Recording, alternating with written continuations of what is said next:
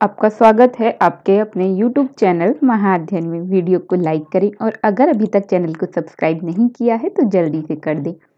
आज हम करने जा रहे हैं हमारी छठी कक्षा की वर्कशीट जो कि है हिंदी की, और आज हम वही पाठ कर रहे हैं जो पिछली बार कर रहे थे, यानी कि अक्षरों का महत्व, जो कि एक निबंध विधा है। और हमारी आज की वर्कशीट यानी कार्यपत्रक का नंबर है 16 और साथ में आज की तारीख है 19 नवंबर। तो चलो शुरू करते हैं हमारी वर्कशीट को। चित्र, अगर हम अपना सबसे पहले यहाँ पर दिया गया चित्र देखें तो हम इसमें देख सकते हैं एक व्यक्ति चित्रकारी कर रहा है। तो देखते हैं इस चित्र के माध्यम से हमें और क्या बातें हमारी वर्कशीट में बताई गई हैं। हमारी यह धरती लगभग पाँच अरब साल पुरानी है। हम ये सब जानते ही हैं, हम इतिहास में ये लगातार पढ़ ही रहे हैं और फिर हम छठी कक्षा में हैं तो छठी कक्षा में भी इससे संबंधित बातें हम आजकल जो फ़िलहाल की हमारी वर्कशीट चल रही है उसमें हमने पढ़ा ही है। और साथ में हमने ये जाना ही है कि दो तीन अरब साल तक इस धरती पर किसी प्रकार के भी जीव जंतु नहीं थे। सिर्फ़ आ, करोड़ों साल तक केवल जानवरों और वनस्पतियों का ही धरती पर राज्य रहा। मतलब क्या? इसका मतलब ये है कि करीब दो तीन अरब साल तक सिर्फ़ ज़मीन खाली थी, पृथ्वी के बनने के बाद पृथ्वी जब बहुत समय बाद ठंडी हो गई मतलब करीब करोड़ों साल पहले, क्योंकि पृथ्वी तो बहुत पुरानी है, पाँच अरब साल पुरानी, लेकिन उसके बाद लंबे समय तक उस पर इस, उसकी स्थितियाँ ऐसी थी, या तो वो जलमग्न थी, या उससे पहले गर्म थी तो इस तरह से अलग अलग तरह की जो स्थितियाँ थी, उन सब के बाद अंततः दो तीन अरब साल तक जब पृथ्वी पर कोई जीव जंतु नहीं था और करोड़ों साल पहले जानवरों और वनस्पतियों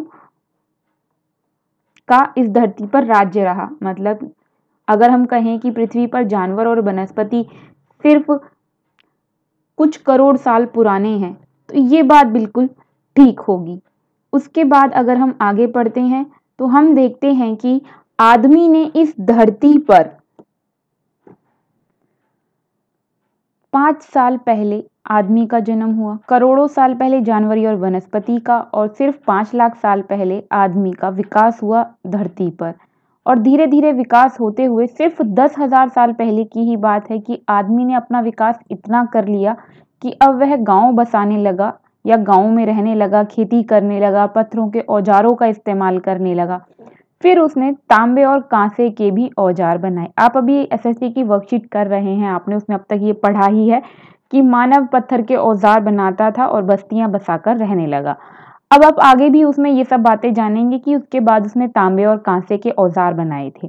तो वही सब यहाँ पर बताया गया है कि अक्षरों से पहले की दुनिया की हम बात कर रहे हैं। तो इस पृथ्वी पर मनुष्य की मौजूदगी करीब पाँच लाख साल पुरानी है और उसने बहुत सारी चीज़ें दस हज़ार साल पहले ही सीखना शुरू की थी। अब हम आगे देखेंगे कि अक्षर कैसे आए। अगर आगे पढ़ें तो लिखा है, प्रागैतिहासिक मानव ने सबसे पहले चित्रों के ज़रिए अपने भाव व्यक्त किए। तो यहाँ पर एक शब्द दिया है, प्रागैतिहासिक। इसका क्या मतलब होता है? ये शब्द बना है, प्राक जमा ऐतिहासिक शब्द से। प्राक का मतलब होता है पुराना। ऐतिहासिक मतलब इतिहास जिसकी हम बात कर रहे हैं कि इतिहास में हमें ये सब बातें, यानी ऐसा हुआ था। पुराने समय में ऐसा हुआ था, इसका ये मतलब होता है। तो प्रागैतिहासिक मानव हम उसे बोलते हैं, अगर मैं आपको आसान शब्दों में बताऊँ, जिस समय के साक्ष्य हमें मिलते हैं मतलब इस चित्र को देखें हम, या हमने अपनी एसएसटी की वर्कशीट की तो उसमें हमने पढ़ा था कि भीम बेटका में हमें, कुरनूल गुफाओं में हमें, ये वो जगहें थी जहाँ से हमें प्राचीन मानव ने चित्रकारियाँ की हैं और उसके साक्ष्य हमें मिले हैं या उस जमाने के चित्र मिले हैं। तो ऐसा समय जिसके हमें साक्ष्य मिलते हैं, उसे प्राक ऐतिहासिक काल बोलते हैं, जिसका लिखित रूप में हमारे पास कुछ नहीं है, लेकिन कुछ ना कुछ चीज़ें हमें उस जमाने की मिल गई हैं जिसके आधार पर हम अनुमान लगा सकते हैं। कि उस समय ऐसा था। तो ऐसे टाइम पीरियड को हम प्रागैतिहासिक कहते हैं। तो उस समय के मानव ने सबसे पहले चित्रों के ज़रिए अपने भाव व्यक्त किए। जैसे पशु, पक्षी, आदमियों आदि के चित्र बनाना। वो आपने वर्कशीट में भी देखा था जो एसएसटी की की थी। इन चित्र संकेतों के बाद में भाव संकेत अस्तित्व में आए। मतलब सबसे पहले चित्रों के ज़रिए से बात की जाती थी। उसके बाद भाव और संकेत अस्तित्व में आए। और फिर कहीं जाकर अगर हम इस पर ध्यान देते हैं तो हम देखते हैं, जैसे मानकर चलिए, एक गोल बनाया, वृत्त लिखा यहाँ पे एक छोटा वृत्त बनाया, गोल बनाया और उसके चारों तरफ़ किरणों जैसी रेखाएँ बना दी। किरणों की द्योतक का मतलब होता है किरणों की सूचक, उनकी प्रतीक, किरणों की प्रतीक रेखा बना दी, क्योंकि हम किरणों को कैसे दिखाते हैं? आज भी हम किरणों को रेखाओं से ही दिखाते हैं, सूर्य के चारों तरफ़ लाइन खींच देते हैं, टेढ़ी मेढ़ी या फिर सीधी सीधी इससे पता चलता है कि वो चित्र सूरज का था और बाद में सूरज को बताने के लिए शायद उसी चित्र का प्रयोग किया जाने लगा हो और बाद में आगे चलकर उसी चित्र का प्रयोग ताप, यानी कि गर्मी और धूप को दिखाने के लिए चित्र का प्रयोग किया जाने लगा हो। इस तरह भाव संकेत अस्तित्व में आए होंगे। जो हम भाव, जो हमारे भाव होते हैं, जो हम महसूस करते हैं, उसे चित्रों द्वारा दिखाया जाने लगा। और तब जाकर काफ़ी बाद में आदमी ने अक्षरों की खोज की। तो इस सब बातों से हमें आज क्या पता चल रहा है? इन सब बातों से हमें पता चल रहा है कि पृथ्वी बहुत साल पुरानी है। उससे भी कम पुराने हैं जीव जंतु और उससे कम पुराने हैं जानवर और वनस्पति और उससे भी कहीं कम पुराने हैं मानव। और मानव ने भी अगर विकास करके अगर वो आज जैसी स्थिति में जब उसने चलना शुरू किया तो ये सिर्फ़ दस हज़ार साल पुरानी बात है। और बहुत समय लगा पहले उसने चित्र सीखे, उसके बाद उसने भाव संकेत सीखे और फिर कहीं जाके अक्षरों को सीखा। तो आगे और पढ़ेंगे इसके बारे में अगली वर्कशीट में, लेकिन अभी तक हमने जो कुछ पढ़ा है, उससे हमने क्या जाना, क्या सीखा, एक बार वो देखते हैं। सबसे पहला प्रश्न हमसे पूछा गया है कि अक्षरों के ज्ञान से पहले मनुष्य अपनी दूर दराज के इलाकों तक बात को पहुँचाने के लिए किन किन माध्यमों का सहारा लेता होगा? तो भाई सीधी सी बात है, जितना हमने समझा। पहले मनुष्य अपनी बात को दूर दराज के इलाकों तक पहुँचाने के लिए चित्रलिपि और सांकेतिक वस्तुओं का सहारा लेता होगा।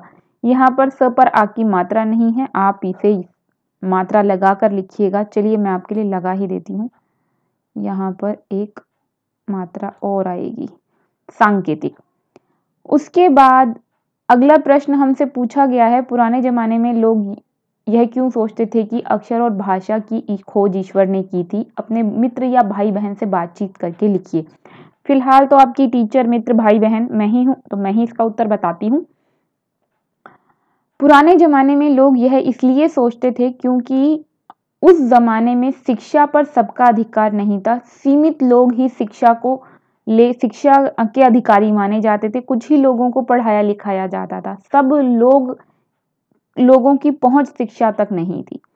इसलिए ये या तो भ्रम फैलाया गया था या फिर लोग ऐसा समझते थे कि ज़रूर ईश्वर ने इन्हें बनाया है और कुछ लोगों को इसे सीखने का, समझने का अधिकार है। तो इस, ये इसका है उत्तर। उसके बाद सोच कर लिखिए क्या होता अगर हमारे पास अक्षर न होते। अगर हमारे पास अक्षर न होते तो हम अपने भावों को, विचारों को व्यक्त नहीं कर पाते। आज जैसे हम पत्र भेजते हैं, चिट्ठियाँ लिखते हैं या एसएमएस वगैरह भेजते हैं, ये सब संभव नहीं हो पाता। और यहाँ तक कि आज हमने जो बहुत बड़े बड़े आविष्कार कर लिए हैं, वो भी नहीं होते क्योंकि चीज़ों को लिखकर सुरक्षित रखते हैं और फिर उसके आधार पर नए नए एक्सपेरिमेंट यानी प्रयोग होते हैं। तो खैर, फ़िलहाल इसका उत्तर है आपके लिए यह है कि अगर आज भी अक्षर नहीं होते तो हमारा जीवन आज भी प्रारंभिक मानव जैसा होता। कार्यपत्रक में शब्द आए हैं, पाँच, एक, आदि को पहचान कर लिखिए। तो हमें जितनी भी संख्याएँ कार्यपत्रक में आई थी, हमें वो सब यहाँ लिखनी है। तो चलो लिख देते हैं। दो, तीन, दस, अरब, हज़ार, लाख, ये सारे शब्द वर्कशीट में, यानी कि हमारे कार्यपत्रक में आए हैं। अब हमें बताना है, एक से दस तक ऐसे कौन कौन से संख्या शब्द हैं जो कार्यपत्रक में नहीं है? तो एक से दस के बीच में बताने हैं। तो एक और पाँच तो हमें ये पहले ही बता चुके थे, इसलिए हमने यहाँ लिखे नहीं है, लेकिन दो तीन हमने लिखा है। तो एक, पाँच, दो, तीन, दस, ये तो हैं ही तो बच गए क्या? बच गए चार छ सात, आठ, नौ। अच्छा ये बात हो गया है, इस बात को सही करके सात कर लीजिए, ये बात नहीं है, ये है सात। तो इसे ठीक करना पड़ेगा हमें, जल्दी से ठीक कर देते हैं इसे। इसे मैं ठीक तो कर देती हूँ, पर ये बहुत अच्छे से ठीक नहीं होगा। आपको ही इसे और अच्छे से ठीक करके लिखना होगा। तो आप थोड़ा ध्यान से इसे सात लिख लीजिएगा। मैंने यहाँ पर इसे थोड़ा सा ठीक कर दिया है ताकि आपको याद रहे या कुछ गड़बड़ थी। आप ठीक कर सकें। तो आगे बढ़ने से पहले मैं मेरे विद्यार्थियों से एक छोटी सी प्रार्थना। वही कि अगर आपने अभी तक चैनल को सब्सक्राइब नहीं किया है तो कर दीजिए ताकि आपके एग्ज़ाम्स तक और आगे भी मैं आपके लिए आपकी वर्कशीट की, आपके पार्ट की वीडियोस ऐसे ही बनाती रहूँ और आपको इसी तरह से काम में मदद मिलती रहे। ये चैनल चलता रहे, इसके लिए ज़रूरी है कि आप इसे सब्सक्राइब कर दें। जिन्होंने सब्सक्राइब नहीं किया है, वो कृपया करके इसे सब्सक्राइब कर दें। आपकी वीडियो के नीचे एक रेड कलर का निशान आ रहा होगा, जिस पर लिखा है सब्सक्राइब क्लिक करने पर कलर चेंज हो गया मतलब चैनल सब्सक्राइब हो गया। फिर मिलते हैं ऐसी अच्छी सी प्यारी सी वीडियोज़ के साथ। तब तक के लिए स्वस्थ रहें खुश रहें। नमस्कार और धन्यवाद।